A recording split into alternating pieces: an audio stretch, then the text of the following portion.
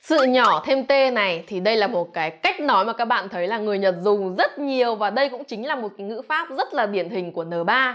Thì à, cụ thể nó sẽ gồm 3 cách sử dụng. Cách sử dụng đầu tiên đó là nó sẽ thường đứng sau chủ đề của câu văn. À, thường là chúng ta sẽ hiểu là nó sẽ thay thế cho wa. Thì ví dụ như sau này.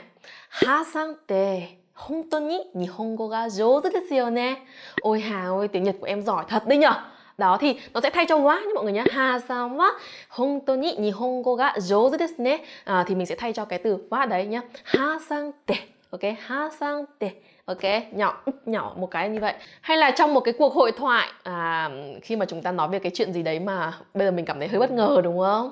He sonna koto te arun desu ne yononaka te semai desu ne câu này nghĩa gì nhỉ ồ oh, có chuyện như vậy luôn nhở trái đất sao mà nhỏ thế nhở đấy thì à, các bạn để cho mình nhá cái cách sử dụng đầu tiên là thay cho what và đứng sau cái chủ thể của câu văn Cách sử dụng số 2 đó là nó sẽ thay cho to ở trong những cái câu mà đi với gì nhỉ?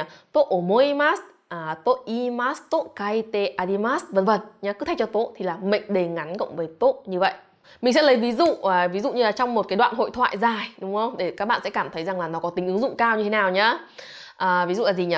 Uhm, mà demo natsu ga kitara hayaku fuyu ni naranai kana te omou desu yo ne.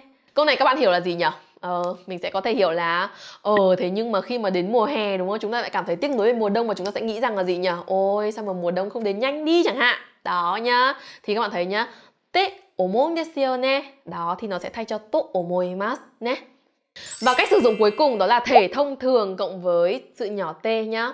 Thì đây là một cách nói mà nó sẽ thường dùng ở trong những cái câu mà trích dẫn lại một cái thông tin mà chúng ta nghe được từ người khác hoặc là trích dẫn lại một cái câu nói của người khác và chúng ta sẽ dịch là nghe nói là thấy bảo là nhá.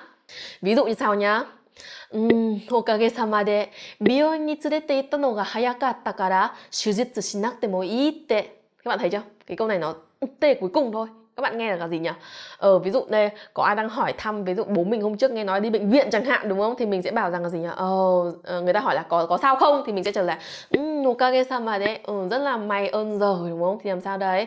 Bioin ni tsurete itta no ga hayakatta kara. Vì tôi đã đưa bố tôi đi à, đi viện sớm thế nên là người ta bảo rằng là đúng nào? Ở shujitsu shinakute mo ite đúng không? Thì mình sẽ hiểu là trích dẫn lại lời của bác sĩ chẳng hạn nhá.